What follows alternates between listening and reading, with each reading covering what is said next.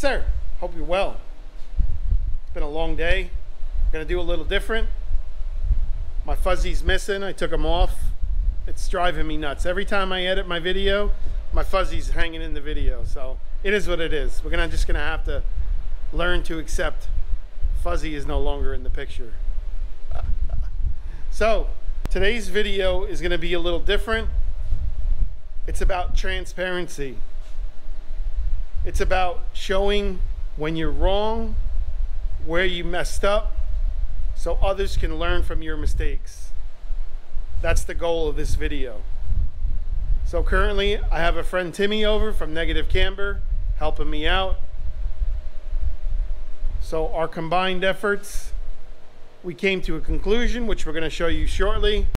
So before I forget, I would like to give a shout out to a couple of channels for you guys on your free time to check out. They've helped me, they've shouted me out, and I want to do the same for them. So number one is going to be Jerry Ain't Loud, big bass head, 160 plus decibels, like steering column shaking, windshield breaking, booty cracking, pants smacking, all that shit. You got to check his channel out if you're a bass head, or even just go and say hi. Next channel, it would be LT's Garage. It's a good dude, just moved to Florida. He's building his uh, Chevy LUV. And then my next channel would be Boogie Chassis from Pennsylvania. It's got the same concept, body drops, you know, mini trucks, tilt beds, all that cool stuff. So please, when you get some time, check him out. All right, guys, so Timmy's gonna help me with showing uh, what's going on with this picture. Minor setback, but it's part of the process, trial and error. I got a little excited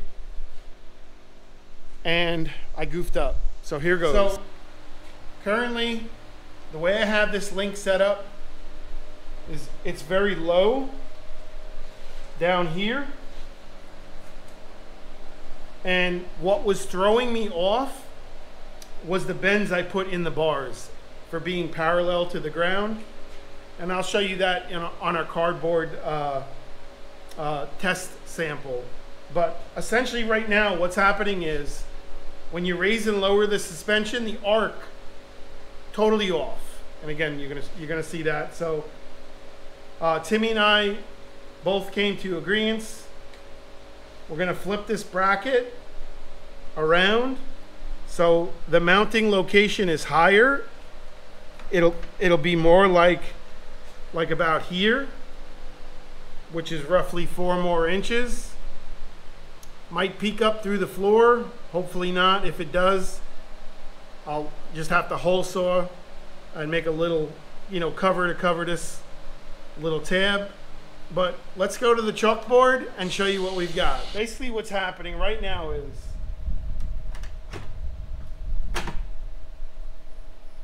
this is how the bar, the link bar is set up in the chassis right now.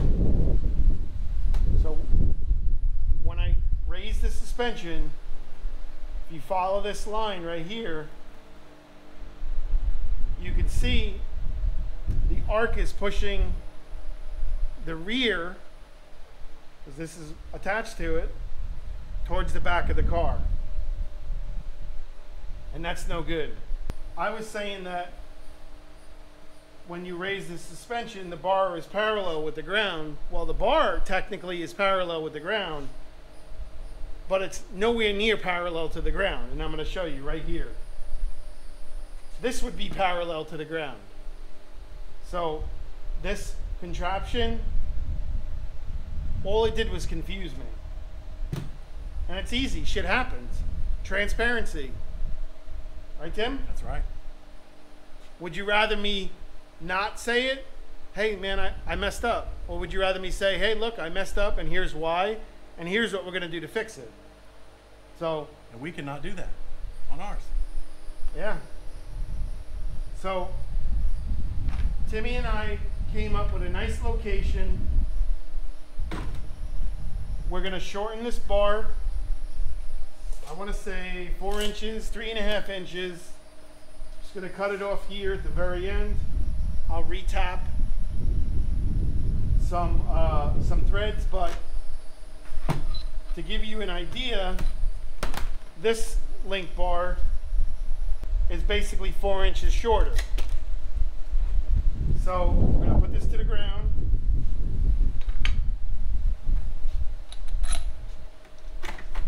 Mount this here.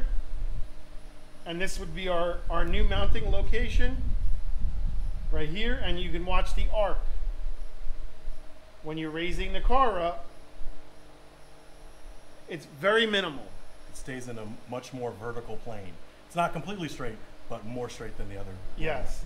And if I, if we move the mount down lower, well then you can see you're almost pretty much vertical. In theory, when we cantilever this setup, the bag is going to get mounted right about here. The car is going to have probably a good 10, what do you say, maybe 10, 12 inches of lift easily because a, a 2,600 pound bag is, I want to say nine inches about nine inches, 10 inches, somewhere in that in that range, depending on how much pressure you know you you uh, put into the bag. But this right here represents parallel to the ground. So when she raises her car up five inches, cruising, the four link will be parallel to the ground. Well, the two link. If I cheat it and move it down further, which I may end up doing anyway, you would you would have to raise it four inches to get the bar parallel to the you know to the ground. So number one, I really should contact the customer and ask the customer, hey, where do you think you would feel comfortable cruising your car at? Two inches off the ground, three inches off the ground, four inches off the ground, because that's going to change the mount that I have to make coming off of the back of the axle. So that was one of the things I wanted to point out to you guys. Getting back to my fancy bar. Can also put a string through there too to give you that imaginary. which is definitely what I should have done. So if I mount, use this bar the way it is, shortening it two inches, and I mount it here, she'll have to go almost five and a half inches to get, you know, the, the car, uh, the bar parallel to the ground. Is way less where the bag mounts to get that amount of lift. So that's perfect. Yeah, so I made a little cardboard template. This is all, all the way aired out. And when you raise the suspension, your bag is pretty much vertical. It's gonna arc very minimal, but that's pretty dang good. What do you say, Tim? I like it. Let's do it. So now what I'm left with is I've got to shorten this bar four inches, which would move it to where it is right here, which is basically this bar to sum it up in a in a nutshell. And it would be mounting here. And again, all depending on where I mount it in this zone, I don't want to be be mounting it here because you can see the arc, how it's pushing it back. I'd rather mount it here. This way when she cruises three inches off the ground or four inches off the ground, That's how we do it. it's barely moving. So I hope this clears some things up with you guys. This is the actual rear end location when the car is aired out. 13 and a half inches. The edge of this metal represents the ground and all these lines represent different mounting locations. So here's another scenario I forgot to mention.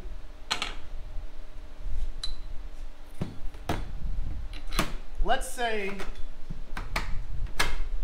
we went and we moved the mount a total of six and a half inches from the ground, from the bottom of the chassis up.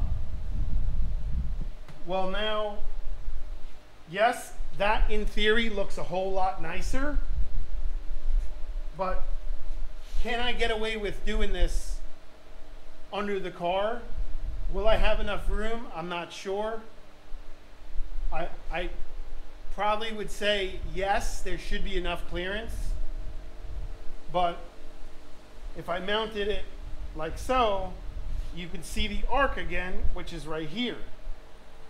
Very, very minimal.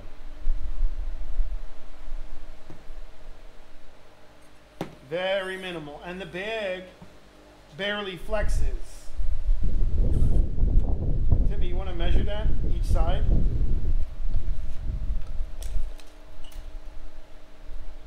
Got three and a quarter, Three and a quarter there, three and a half there. Three and a half. So it flexed a, a, a quarter of, a, of an inch. That's pretty good. That's nothing. It's made to do that. It's not like you're bananing, you know, you're, you're gonna banana shape the air, uh, the airbag, which, which we don't, we don't wanna do. So I'm left with a couple of decisions.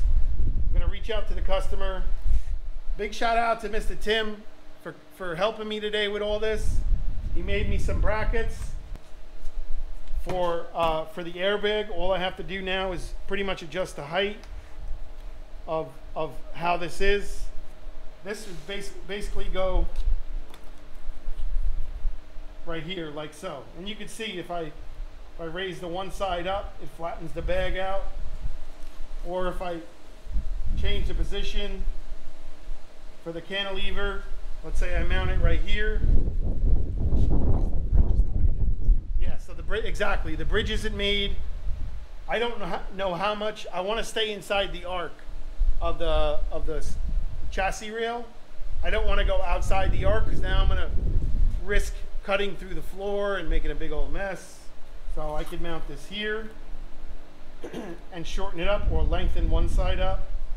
I could mount it here maybe. Obviously you could mount it here, but then you'd be coming through the floor and that doesn't look right. So it was a long day, a non-productive day, uh, going back to school day, and then just again, like I said, man, being honest, keeping it real with you guys. Spent the whole day grinding brackets, figuring out geometry on the rear, which I should have done, but I didn't. Had some guys here from Negative Camber to here now. I'm going to show you one of their trucks. Very nice Maverick, air ride, beautiful. And uh, well, call it good. So we got Scotty from Negative Camber. He stopped by with his 2022 Maverick. It's all-wheel drive on 22s with an airlift 3P setup. Pretty bitchin' truck, turbocharged, all the fancy bells and whistles.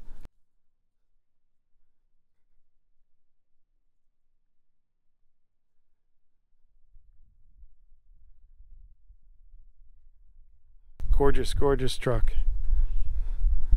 Most of all, pow. A lot of work done to it. Your interior is custom, right? That's not.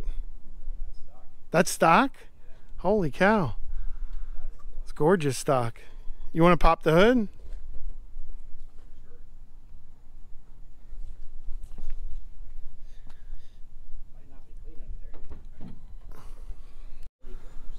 Very cool. Who'd you say the kit was from? Chassis Works? Chassis works, I think. Chassis Works um, air suspension kit. Very cool. Did you do any work to the motor? Just got a blow off valve. Just the blow off valve. That's it. Very cool. How's it ride? Ride's good. Yeah? I drove it home from Oklahoma. got it. That's Timmy. That's Scotty. That's Donnie. Everyone stopped by to say hi. Yeah, man. Very nice. Thank you. Very nice. I'm going to put a link to his page. Check out his page. All wheel drive Maverick. Scott holding his own. That's where we're at. That's going to do it for this video. Transparency is key. Admitting when you're wrong and learning from your mistakes. Have a great day, guys. We'll see you next Thursday. with a kick-ass video of the jungle gym. Keep it low.